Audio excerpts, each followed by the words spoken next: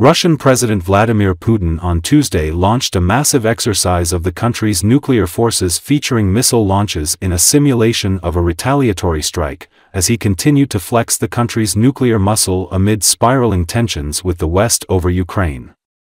Defense Minister Andrei Belousov reported that the exercise is intended to practice strategic offensive forces launching a massive nuclear strike in response to a nuclear strike by the enemy.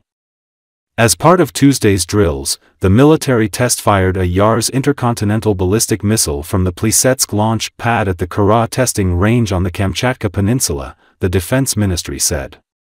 The Novomoskovsk and Knyaz Oleg nuclear submarines test-fired ICBMs from the Barents Sea and the Sea of Okhotsk, while nuclear-capable Tu-95 strategic bombers carried out practice launches of long-range cruise missiles.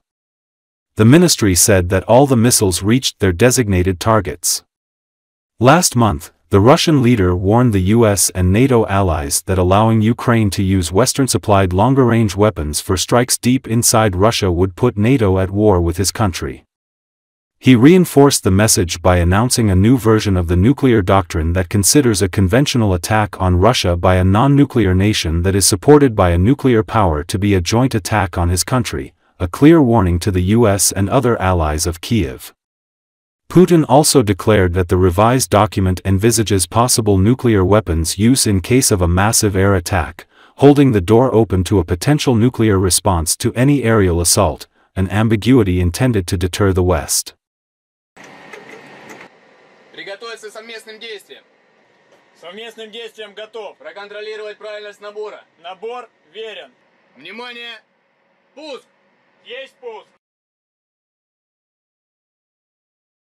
Боевая тревога, ракетная атака, ракетная атака, ракетная атака.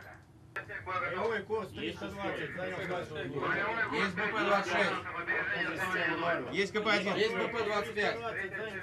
До старта 10, 9, 8. Есть старт ракеты. Есть старт ракеты по ракетной шахте номер 8.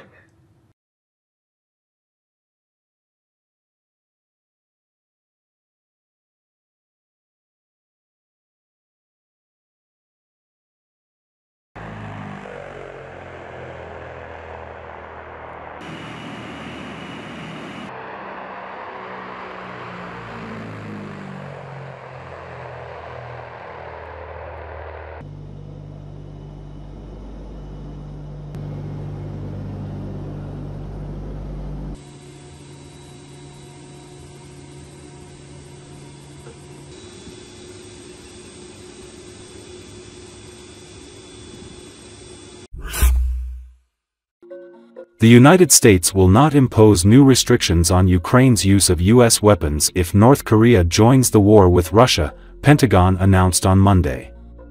Our concern is growing that Russia intends to use these servicemen for combat or to support operations against Ukrainian forces in the Kursk region, Pentagon spokeswoman Sabrina Singh told media representatives. Earlier today, NATO chief Mark Rutte said that North Korean soldiers assisting Moscow have been deployed to Russia's Kursk that is partly controlled by Ukrainians troops. I can confirm that North Korean troops have been sent to Russia and that North Korean military units have been deployed to the Kursk region, Rutte told reporters. North Korean troops' involvement in the war in Ukraine marks an important escalation of the conflict and has alarmed Ukraine and its Western allies. Last week, Ukrainian President Volodymyr Zelensky said, with reference to Ukrainian intelligence, that North Korean troops would soon be involved in fighting and urged international pressure on Kremlin and Pyongyang. According to information from Seoul and Kiev, North Korea is sending up to 10,000 troops to Moscow.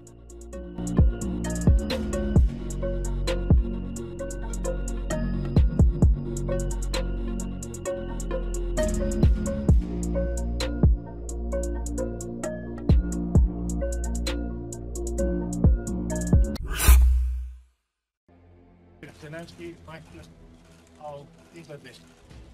Hvernig finnst hún til fyrir útfattana til að hinsveita hann? Og vel svo bara. Þessi tíma.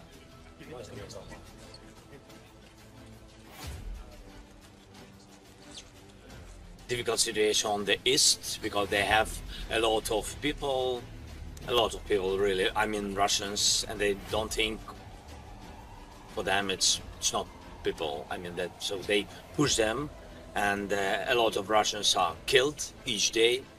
So last my connection with the general was today morning, and uh, yesterday, for example, Russian they lost only on on this on the east direction they lost uh, 800 people been killed. So they don't think about it. We have to think. That's why it's not simple.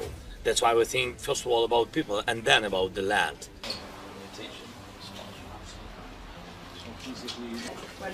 Thank you so much. No, thank you very much. Best of luck. Good to see you.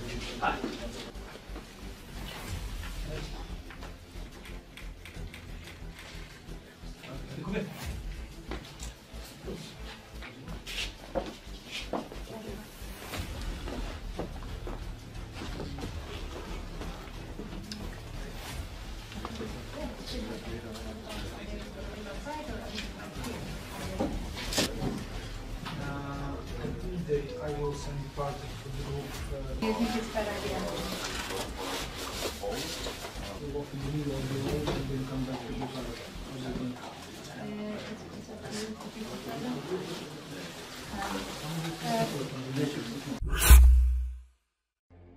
Russia and North Korea's Treaty on Strategic Partnership does not violate international law, Russia's Sergei Lavrov stressed on Monday.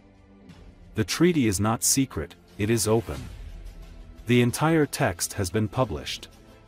It does not in any way violate any provisions of international law, because it assumes, among other things, the provision of assistance to each other in case one of the countries participating in the treaty is attacked militarily, Lavrov said. Russia's position in terms of relations with North Korea is absolutely honest and open, Lavrov added during a news conference with his Kuwaiti counterpart Abdullah Ali al-Yehya. North Korea said Tuesday its top diplomat is visiting Russia, in another sign of their deepening relations as rival South Korea and Western nations say the North has sent thousands of troops to support Russia's military operation in Ukraine. The US said North Korea has sent about 10,000 troops to Russia, who are expected to arrive in battlefields in Ukraine within the next several weeks.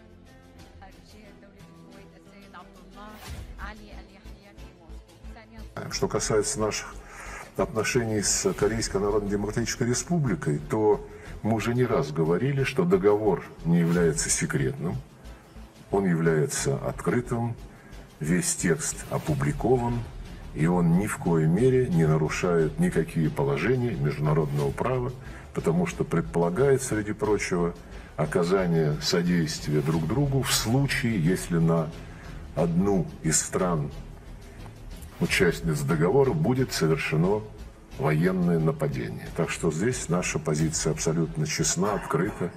Парламентские выборы, на них побеждает партия «Грузинская мечта».